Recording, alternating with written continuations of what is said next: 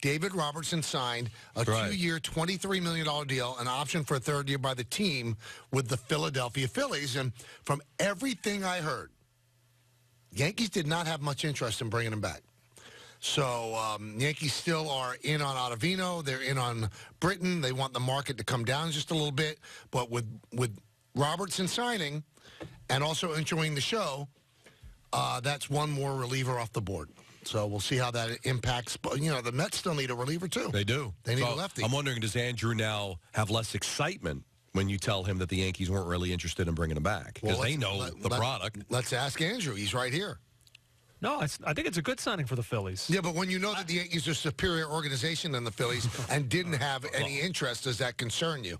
No, is he not a good player? I mean, you watched him. The He's- last he's- couple of years. and he's a great guy. All right, so then why wouldn't I be excited about that? Because the Yankees weren't excited about it. So doesn't that tell you something? Right. I've always Does it send up a red flag? Those those that let free agents go know more about those that sign free agents.